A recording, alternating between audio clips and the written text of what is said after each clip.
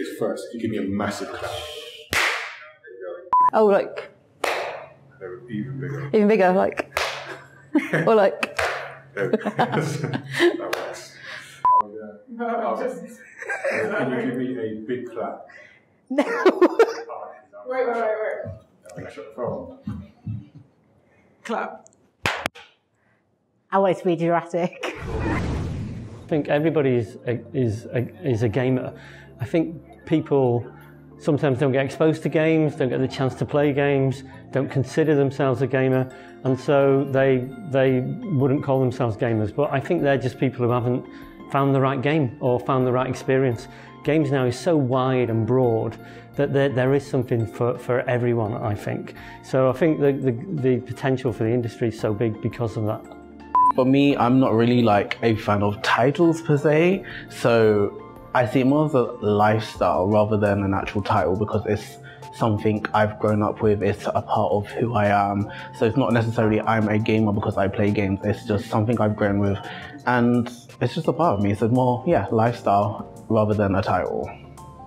Um, so to me, a gamer is anyone who I can share the joy of video games with. So and the example I'd give is my mum, who would not call herself a gamer.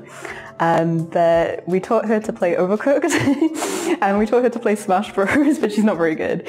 Um, but growing up, she also really liked games like Phoenix Wright and Professor Layton, and just being able to talk about those games with her, to me, um, makes her a gamer. Gamers that are perceived in the media are not the gamers that exist usually.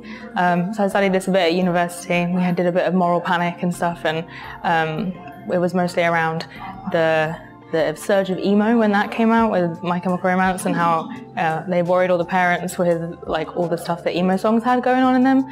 Um, but a very similar thing happens with video games and the violence in video games and how the violence in video games is more is more important than the violence in TV, film, and other media. Um, and it's no different. And the studies that have been taken out, you know, around violence in video games, they're they're, they're not conclusive in any way to make make gamers more violent people or bad people. So um, it's a very it's a very media fueled perception if you think that gamers are bad. And I know that there's stereotypes. I know that there's um, yeah particular images that come to mind when you say gamer, but um, it's much much broader than you you've ever considered. Uh, and it's only when you bring spaces like these to, to people that they realise what it means. To be honest, anything, if you do something that's like jeopardizes your uh, mental health, because I think that is what everyone thinks what, what games do. Like you don't time schedule like um, how to hang out with friends and stuff. But I think that's with everything. Um, and if that's the case, I think just be open-minded, try it out yourself, and know that gamers aren't there to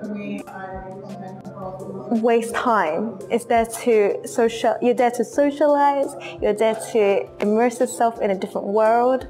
You're there to like create like anything you want because there are different types of games. Um, yeah, be open-minded. Try out different games. There's a game for you. I would say The Sims 2 was a game that got me into video games. I don't play it as much as I used to, but um, The Sims 2, I used to see it.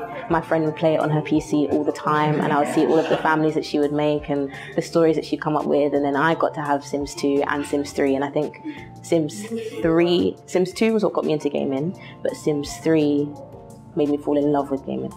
Um, just because of the different possibilities that I had and all the things that I could do, um, all the different expansion packs and the all the other worlds that you can create and stuff. It was just really, really good.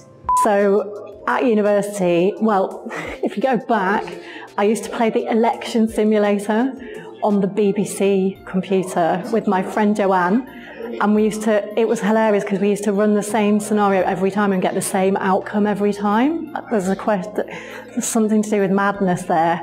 Um, but we used to, because I'm really into politics as well. Um, but actually, a little bit later at university, it was the Tomb Raider era. So I just remember sitting around in dark rooms watching other people play Tomb Raider. And obviously, you know, it was amazing because it was kind of a single player game, but actually it was quite a multiplayer experience because everyone was chipping in and saying, try that, move that, you know, because it's puzzle based. And so many brains made playing Tomb Raider in that era great fun. Um, but then what happened was I became a QA tester because I actually did French and Spanish at university. And um, games are generally localized. And when games are localized, it breaks the game uh, which you kind of can't quite believe, but literally adding like an accent on a French word can change coding. The other thing that typically happens is sentences are different lengths, so someone has to play through the game to make sure that one, the language is correct, but secondly, the language implementation has not broken the game. That's what I did. So, and the two games that I tested were Abe's Exodus and Abe's Oddysee. They are such good games.